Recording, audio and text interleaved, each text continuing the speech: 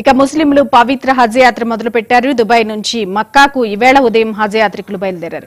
Corona virus నేపథ్యంలో ఐదు రోజుల యాత్ర నిర్వహణకు సౌదీ ప్రభుత్వం అన్ని ఏర్పాట్లు చేసినట్లుగా తెలుస్తోంది.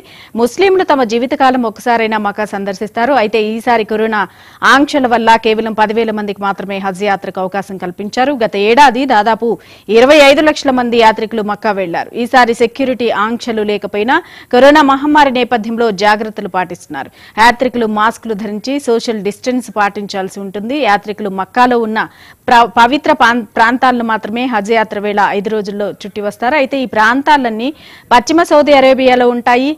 యాత్రకు ఎంపికైన వారికి టెంపరేచర్ చెక్ చేసి క్వారంటైన్ చేస్తారు. అయితే యాత్రికులు ఎక్కడ ఉన్నారో తెలుసుకునేందుకు గాను వారికి రిస్ట్ బ్యాడ్లను కూడా ఇచ్చారు. మక్కాలోని ప్రధాన మసీదులో ఉన్న కాబా చుట్టూ ప్రస్తుతం నల్టీ వస్త్రాన్ని కప్పి ఉంచారు. యాత్రకు వెళ్ళిన ముస్లింలు కాబా చుట్టూ రెండు సార్లు ఏడు ప్రదక్షిణలు చేస్తారు. మక్కాకు చేరుకున్న ప్రతి యాత్రికుడు ఖచ్చితంగా కరోనా పరీక్షలు చేయించుకోవాల్సి ఉంటుంది.